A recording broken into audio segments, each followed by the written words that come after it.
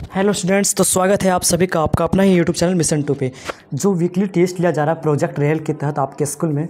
आज जैसे कि आज सेवनटीन अगस्त था सेवनटीन अगस्त का है है ना? तो आज जो टेस्ट लिया गया था, उस टेस्ट हिंदी और इंग्लिश का लिया गया था, जिसका इंग्लिश का आंसर शीट लाए क्लास टेंथ का। तो फटाफट देख लीजिए, सारा को पूरा फुल वाच देखिएगा, सारा क्वेश्चंस का हम आंसर बता दे रहे हैं। और फटाफट मैच कर लीजिए आप लोग कि कितना आप सही करके आओ कमेंट में लिख देना कि कितना आप सही करके आए हो। तो देखिए, पहला क्वेश्चन है what could be seen from Lencho's house from on the crest of hill Lencho का जो घर था क्रेस्ट ऑफ़ हिल पर, वहाँ से क्या दिख रहा था? क्या दिख रहा था?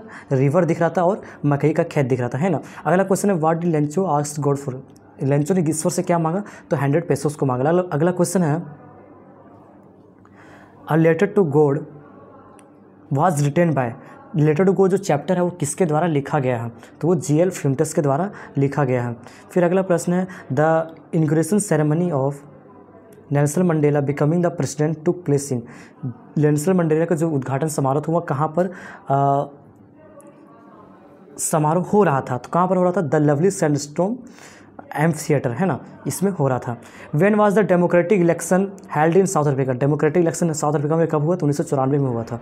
अगला क्वेश्चन है according to your according to the young seagull who will not support him in flying जो यंग uh, सेगुल के अनुसार कौन सा चीज़ उसको उड़ने में सहायता नहीं दे रहा था सपोर्ट नहीं कर रहा था वो था हिज विंग्स है ना उसके पंख।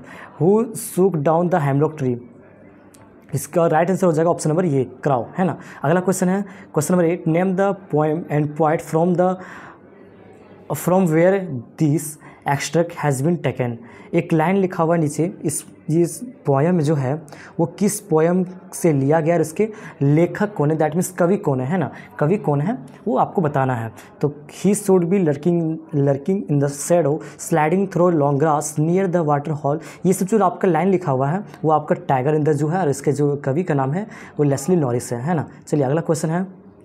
Who is him who is he in the passage दोस्तों ये क्लास सॉरी क्वेश्चन नंबर जो नाइन का आंसर है, आप लोग कमेंट में लिखिएगा कि आप लोग कौन सा ऑप्शन आप सही करके वहाँ पर आए हो, है ना? कमेंट फटाफट सबको लिखिए। क्वेश्चन नंबर टेन है which animal's skin is covered with spots जो कौन सी जानवर का जो स्किन था स्पोर्ट्स से कवर था तो वो लिपोर्ड था, है ना? फिर अगला क्वेश्चन है the chapter is all about a pet animal name Tricky who was who was Tricky जो चैप्टर पूरा जो चैप्टर जो बना हुआ था, वो चैप्टर जो जिसके बारे में था पैट एनिमल जिसका नाम था ट्रिकी तो पूछा था ट्रिकी कौन था? तो ट्रिकी कौन था? कुत्ता था। जिस चैप्टर का नाम क्या था? ट्रंप ऑफ़ सर्जरी है ना? चलिए, अगला क्वेश्चन है who is the author of the chapter thief's story thief's story जो चैप्टर है, उसका ऑथर का नाम क्या था? तो उसका ऑथर का नाम था रस्किन बॉन्ड है ना? अगला क्वेश्चन है what was the age difference between the two characters in the chapter the thief story जो थी स्टोरी चैप्टर था, उसमें दो कैरेक्टर के बीच कितना उम्र का अंतराल था तो वो था पंद्रह ईयर्स है ना? ऑप्शन नंबर बीस का आंसर हो जाएगा. अगला क्वेश्चन है what was James Herriot by the profession James Herriot जो था, वो प्रोफेशन से क्या था? मतलब पैसे से क्या था? तो वह था वेटनरी सर्जन है ना? सर्जन अगला क्वेश्चन ग्रामर से है water does at hundred degree Celsius. तो ये ग्रामर में है तो वहाँ पर क्या हो जाएगा? ऑप्शन नंबर डी इसका आंसर हो जाएगा। Water boils at hundred degree Celsius अगला क्वेश्चन है।